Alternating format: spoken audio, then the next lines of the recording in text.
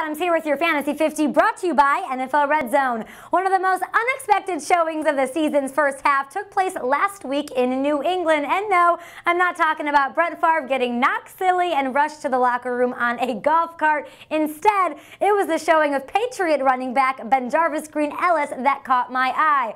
Against the always tough rushing D of Minnesota, Green Ellis tore off more than 110 yards on just 17 carries. And by adding two touchdowns in the win, he gave fantasy owners a huge, huge week. Surprisingly, that's been an ongoing story with Green Ellis this year. He's putting up huge fantasy production. His yardage hasn't always been that great. He's had three games where he's averaged less than 2.3 yards a rush, but he is scoring. In fact, he's hammered out six, six touchdowns this year, and he takes a five-game streak of touchdown dances into this week's game with Cleveland.